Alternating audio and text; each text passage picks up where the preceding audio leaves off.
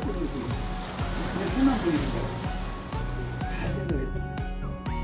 해만 뿌리는 거야. 동해바다에 있는 게 뭐야? 뭐 이렇게 홍통배가 지나가잖아. 해가 퍽 뜨는 오메가 밑으로 홍통배가 지나가잖아. 그죠? 그게 해하고 홍통배하고 입체감이 생긴 거잖아. 거기다 입체감을 더 준다 그러면 동해바다에 뭐가 제일 많아요?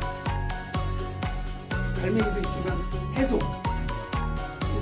동해바다에 이쪽에다 해송을 해가지고 나무를 해서 하늘을 가려. 그 화면에 입체감을 주죠.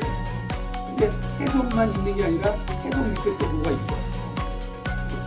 촛대바위인가? 아니면 해력점 같은 거, 정자 같은 게 살짝 걸려. 스마트폰으로 비디오를 촬영하는 것은 많은 이들에게 익숙한 활동이지만 프로페셔널한 수준으로 촬영하는 것은 쉽지 않을 수 있습니다.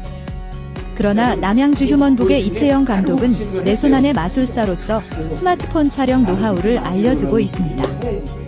그는 자신만의 비디오 촬영 기법을 공유하며 인터넷 강의를 통해 누구나 쉽게 배울 수 있도록 도와주고 있습니다. 그의 강의는 스마트폰으로 어떻게 고품질의 영상을 촬영할 수 있는지에 대해 포괄적으로 다루고 있습니다. 또한 편집과 후처리에 대한 팁과 기법을 제공하여 비디오 제작의 모든 단계를 완벽하게 수행할 수 있도록 도와줍니다. 이태영 감독은 뛰어난 비디오 촬영 기술을 갖추고 있는 이들 뿐만 아니라 동영상 제작에 흥미를 가지고 있는 모든 이들에게 궁극적인 스마트폰 비디오 촬영 교육을 제공하고 있습니다.